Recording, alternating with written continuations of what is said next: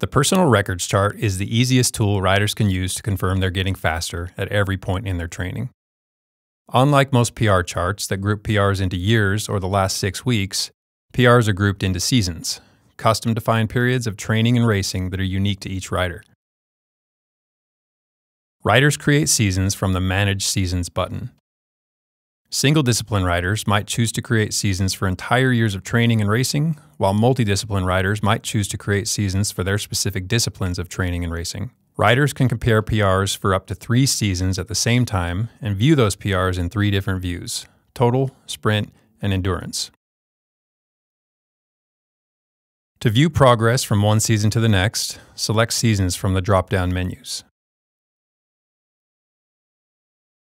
A rider can quickly see where they've improved and where they haven't. For example, this rider can see that their 5 minute PR has improved by 16 watts from their previous season. Clicking in on a PR will pin a tooltip and show a View Details option. Clicking a ride takes a rider to the ride analysis page to analyze their PR more deeply. Weekly View is for analyzing the progression and power difference of a PR to determine if a rider is getting faster. From there, the rider can see each week they made a new 5 minute PR during their Road 2018 season. Looking at power difference alone, the rider can see by week 18 of their most recent season, they were already faster at 320 watts than their fastest week in their past season at 319 watts.